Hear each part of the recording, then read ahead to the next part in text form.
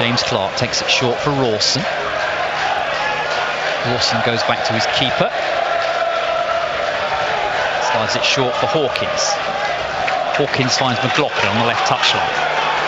McLaughlin over the halfway line. Inside for Bowery.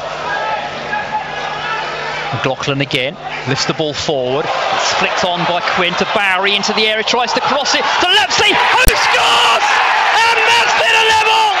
Great play from Mansfield down the left-hand side, and George Lapslie slides the ball into the net, and the roof comes off the One Call Stadium at last. Mansfield have a goal, and it's a finely worked goal. George Lapslie turns his ball into the net from close range.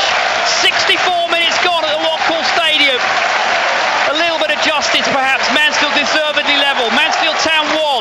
Port Vale won. Oh, wow, do we need that, Martin?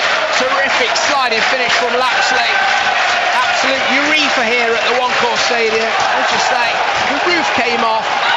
Massive relief all around us. At last, we've got that goal.